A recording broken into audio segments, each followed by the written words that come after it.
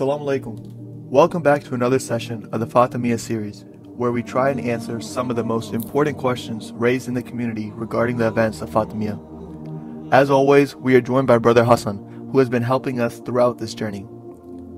Today, we wanted to address another doubt that has been coming up periodically within our community.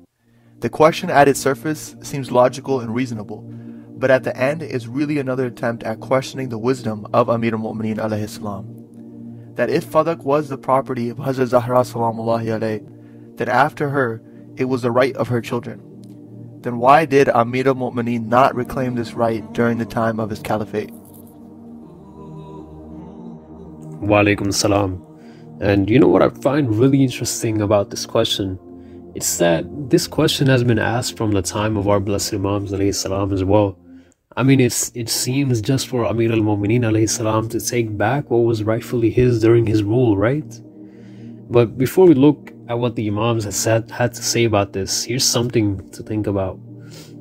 So the Imam's rule as apparent caliph was brief, about four and a half years, right? Four and a half years long, and that's it. And even that was filled with wars, filled with the Battle of Jamal, then Siffin, that lasted for a year, and then Nahrawan, and then, towards the end of Imam's life, he had to prepare for another war waged by Muawiyah, which was later fought by Imam Hassan salam.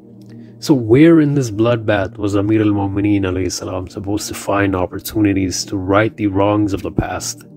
You know, how was he to remove the innovations introduced by the usurpers when he was busy dealing with the rebellion after rebellion? Yeah, that's an interesting point. Because if we truly think about it, the enemies of the Imam salam had made sure that he was so preoccupied with the conflicts that they created that he would not be able to reinstate the true teachings of Rasulullah sallallahu. Yes, of course. But then again, it also goes back to the points we mentioned in one of the earlier segments about the political atmosphere and the volatile nature of the nation and the knowledge of the plots of the enemies and that all played a role in the Imam salam not seeking revenge and similarly not reclaiming Fadak. Amir al-Mu'mineen salam himself said about the land of Fadak in Nahj al-Balagha, which is in letter number 45. He said, Fadak was in our hands from everything which is shaded by the sky, and then the people desired it, and then some bestowed it upon others, and Allah is the best of judges, and whatever they did with Fadak, and other than Fadak, then they will be accounted for in the grave. So essentially, Imam salam had left the matter on Allah subhanahu wa ta'ala, which meant that he knew what awaited the usurpers in their graves, and hence he did not reclaim Fadak.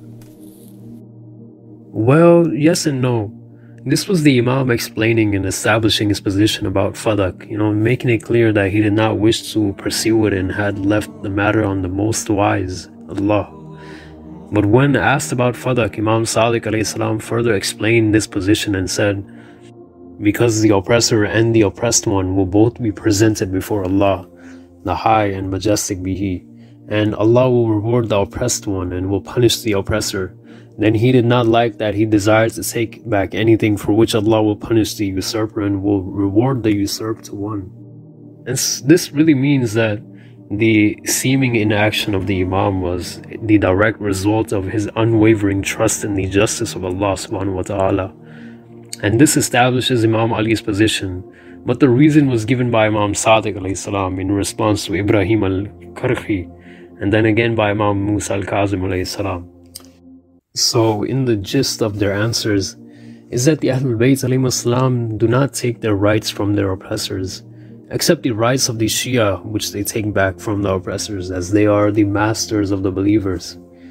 And meaning that the Ahlul Bayt do not prioritize the rectification of their violated rights, but rather the rights of their followers that have been oppressed.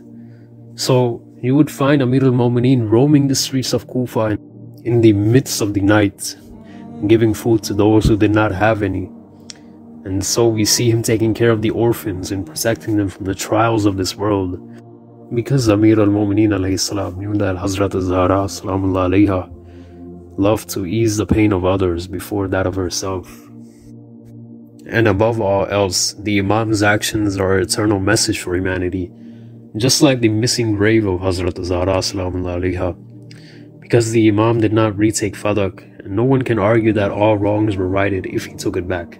But on the contrary, whenever the topic of Fadak is discussed, the incidents of Saqifa and the attack on the house of Hazrat Zahra and the character of the oppressors all comes under scrutiny